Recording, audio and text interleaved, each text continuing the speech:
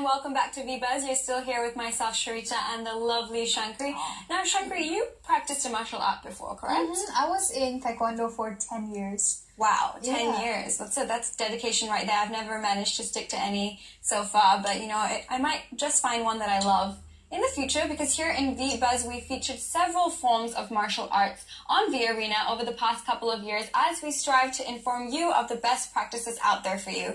On today's show we speak to Dr. Suhaizi Saad who has decades worth of experience practicing and teaching the martial arts. He founded the Stealth organization back in 1989 which has been dedicated to educating people on martial arts and the sciences and values behind it. He is also the president of the Malaysian Martial Arts Federation and he joins us today to talk to us about the martial arts in Malaysia and how the federation is supporting our athletes. Welcome to VBuzz, Dr. Taizi. My pleasure. It is, it is our pleasure to have you on the show, Dr. Suhaizi. Um, now, you've been practicing martial arts for many years now, um, over 20 years. Uh, but what do you remember what first, um, you know, piqued your interest in ma- pursuing martial arts?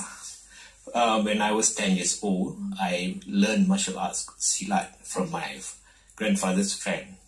Ah. And then after that, I get involved to karate.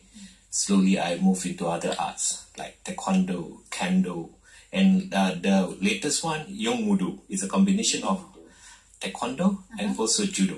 Wow. Ah. You know, being 10 years old, you know, at that time children try, try a lot of things. You know, you, you take up a, a musical instrument or you try a sport, but then you always end up switching. What do you think really made you stick for so long in the martial arts scene? Yeah, because by that time I'm living in a small village, uh-huh. so it seems like I don't have any piano, violins, all those. Because of that limitations, I choose sports, combat sports. So I, I- see people train. Mm-hmm. So how can I be stronger? How can I improve my ability mm-hmm. in combat engagement? So slowly I get to learn. Actually, I asked for from my grandfather, can I join him? Because he's also a teacher at that time, a oh. master at that time. But he said, no, not from me. You can learn from my friend Why is that so? um, because he wants me to not to follow him hundred percent. So I should learn from his friend better.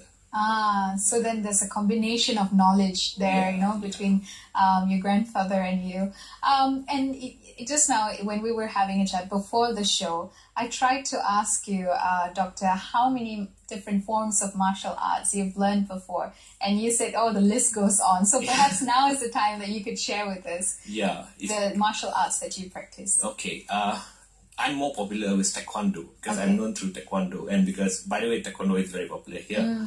So then after that, I moved into uh, I started karate, then I moved to Taekwondo, then other Japanese art and Korean art such as Hapkido, Jiu-Jitsu, to name a few. Okay. Yeah. All right. And is there one particular um, martial arts form that is you, you hold closer to your heart? Yeah, almost all. It's All. hard for me to separate. Okay. Because it seems, seems seems like when I practice, I need to know how to use my hand, how to use my leg, and the whole body. Uh, in uh, Taekwondo, I use more legs. In Karate, I use more hand. In Judo, I use more body. Okay. The whole body of mine, yeah. All right. So you started off very young, um, practicing martial arts and you know, kind of honing in on your skills. Did you also enter yourselves in competitions since then? Yes. Yeah. Can you tell I- us about that? yeah, I entered few karate tournaments at a time, and uh, few taekwondo tournaments. Yeah, two type of taekwondo, ITF and WTF at that time. So I just entered, but okay, it was history. Oh, okay. Well, yeah, I'm sure you know that's that's part and parcel of a, a martial artist. You know, going for tournaments, you learn so much. You meet different martial artists at, at the area. Maybe this was this whole environment was what um, sparked this interest for you to go on and start the stealth organization. Was Yes. that what that um, inspired stealth organization? those organizations, the main vision is to make sure everybody know the values of martial arts. Like, we want to make sure that uh, students, especially the young one, know the essence of why they have to learn martial arts. It's easy to say the the style of martial arts. My point is that uh, when we mention the word martial arts, uh, the public will look at the martial and the art. Okay. Actually, martial art is actually for to protect your life, to, to protect your your life. So if we call it learn how to protect your life, I think it will be better. But uh, now, because of the word martials, focus more on the combat engagement. Yeah. The art actually there's a sign in that art, so that's how stealth promote. Know, that, that's very interesting that you said that, Doctor, because I remember the reason my father sent me for martial arts because he said, oh, if someone tries to be funny with you or tries to kidnap you, then you can defend yourself. But when I was in, in Taekwondo itself, I begin to understand that it's a way of life. There are so many values and there's a philosophy that you have to follow. Could you perhaps share some of the values? Okay. Um, simple because if we say karate, karate do, ju, judo, um, ken, kendo, yomudo, there are lots of do behind, uh, right behind the sentence. The the meaning, the technical meaning is more on the let's say judo. Ju is maybe the gentle ways. Actually, it's not that gentle, and the do is the way. How the instructor, how the master teach the student, how you educate the student, how to live with that do. Example, uh, let's say I trained ten years ago. I stopped training for five years due to injuries here and there. Example, then somebody given you a chance to to try a skill Okay. suddenly wow those muscle memory come back because They do. yeah They do. really Wow.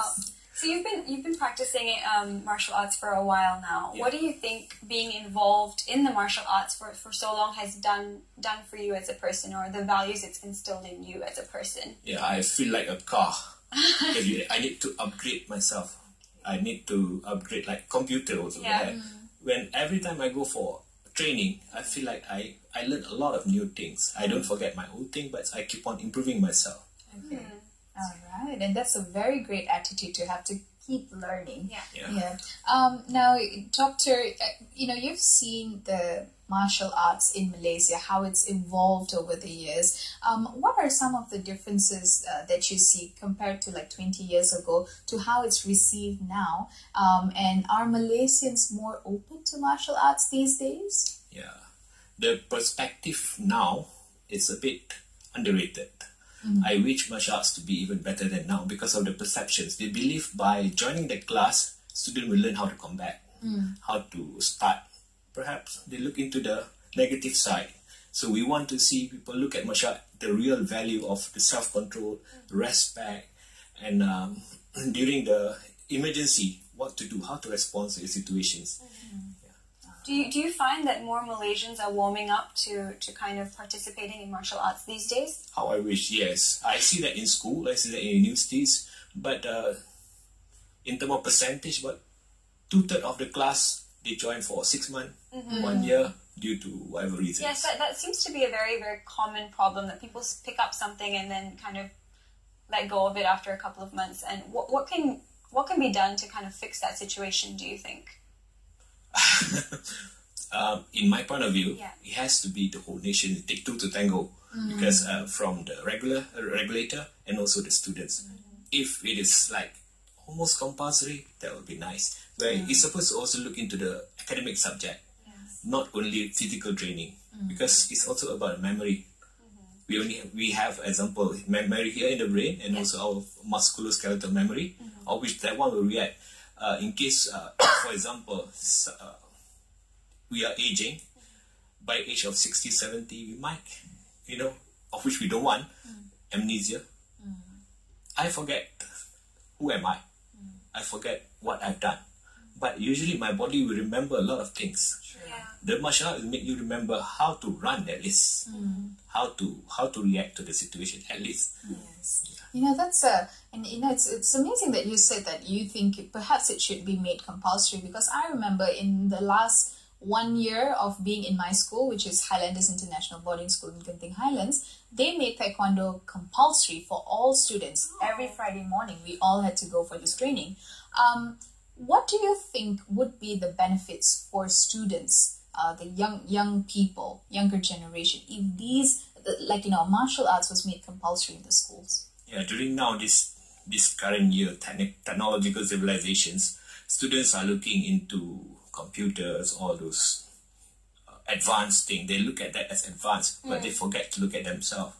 Uh, they have to look at them. So i need to make myself compatible to this technolo- technological civilizations era where i need to be active as what i see on the screen when they play video game combat game. So hmm. they need to be like that not by pressing the button and the icon will move. Hmm. I believe if they can have that in mind change the concept they'll be fine for them. That's true. You know, you still need to kind of give yourself something active to do and keep your, your body, you know, fit. But one major attraction that people go for sports is, you know, how well it does on the international scale. How well do you think Malaysia has been performing on the international scale with regards to martial arts? Yeah, we have tried. I believe a lot of our athletes and coaches have tried. The association also give, uh, even the government also give a proper support. But we have to look into a very realistic, where our size, our Asian size, there are sports that we can't really score. Although mm. there are weight divisions, category here and there, there are a few sports that we really can't go. Yeah. So, like, uh, there are six Olympic sport now, including karate in 2020 Olympics.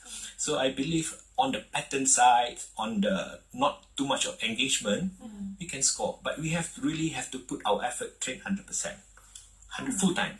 I believe I believe we can do it in the the up, the next Yes. season. Uh, It's interesting that you mentioned that size might be uh, one of our disadvantages. Um, so, what are the other things that we could perhaps enhance to uh, make up for the size that we don't have as Asians? Yeah, the concept, the perceptions. We need to improve on our. We have to focus few students or few athletes hundred percent on the sport. Their, their nutrient, their nutritional intakes, their trainings, all has to be perfect. All right. Okay. And on that note, can you tell us a little bit about the work that the Martial Arts Federation does to support our athletes um, on, in the international competitive arena? Okay. Uh, Malaysian Martial Arts Federation was formed in uh, 2016. Um, then uh, our vision from there, we start to get masters to get involved. How I wish I can get all martial arts to be in one roof, but it's, it's, it's a bit difficult. Uh, from there, we will do a research. Now we have done a research on martial arts, so we write few things about martial arts, and uh, hopefully we can come out with some formula. How can we develop combat athletes, specifically combat athletes? regardless it's judo, wrestling, uh, taekwondo, karate, and so on. Okay, all right. Um, and it, it- sorry, it's so it, it's um the with this you are trying to bring all of these different uh, martial arts under one roof, uh, and you say that there it's there are some challenges that you face from trying to bring everyone under one federation. Could you further explain what are those challenges that you face? Among the challenges is the perspective of the master themselves and the associations, the interference here and there, because they will definitely have their target. It's, it's, it's not like we want to take their positions or, or their visions or their target, but we want to improve for our nations. So we because Malaysia, like Japanese in the, Japan in terms of size, they are also not that big. Korean, they are not that big. Malaysian about the same size. But when we go for sport, their spirits are stronger. They really fight. But for us, sometimes that one is a bit slow. We need to improve on that. And Doctor, how do you think we can overcome these challenges? We need to have uh, support from the regulator. Yeah. Yeah, we need to have fun. When we have fun, we can have more fun. Yes, that's true. That's- There needs to be everyone coming together to support this main goal. You know, we want to see our athletes performing well in this We should, arena. yeah. You know, can you take us through what is the regular training like in order to get an athlete ready to kind of compete? What what sort of procedure procedural training do you have to go through? they uh, the more they train the basics and they have to go for specific combat and uh, playoff is very important where we can we can simply ask other other, other states or other clubs from other uh, from other countries to come and compete with us friendly. So from there we can see and see where where are the things. And then we have to keep up to date with the rules and regulation of the competition. Sometimes we are behind the rules. Because sometimes they modify new rules like olympic now. So Yeah. the, the rule keep on updating. So, but the athletes not ready for that yet. Okay, all right. So today, you know, um, Doctor, you have spoken uh, so thoroughly about the importance of martial arts and and why it's of you know great benefits to us. Um, now, for our viewers out there who are perhaps inspired now to go and take a martial art, um, you know, try and learn it, is there a certain kind of um, art form that you would suggest that is easier or perhaps more for a beginner um, rather than the others? okay finally it's back to the preference of the the candidate itself if he or she wants to try but i personally recommend she try all. Okay. give a chance to her body to try all. Uh, like i said uh, karate more on the hand and the stances where the body have to stand straight. Taekwondo more on the kicking could be a bit difficult. Those who are aging be good for youngsters. But judo uh, more into throwing all that. So he has he or she has to look at that the whole thing and try to look at her convenience and her preference uh, there are also um, arm, art, arm, arm sports like kendo. So they can also try that. Okay. There's quite a few options out there. Yeah. Thank you so much, Dr. Suhaizi, for speaking with us today and giving us a little bit more information on the entire, you know, martial arts situation here in Malaysia. Yeah, it's a pleasure for me to be here. All right. Thank you, doctor. Thank you. All right. So if you want more details, uh, you know, if you have some questions for doctor, we had the information on our screen uh, just then, and we also have a demonstration at the end of this show. So you want to stick around for that. But um, before we go off to the break, we, you know, sorry. After the break, wow, I'm getting pretty excited about our Yeah, I think guest. we're going to see Shankari performing a little bit at the end. at the end, but before that, we'll speak to Sheila Singham about competition in the workplace.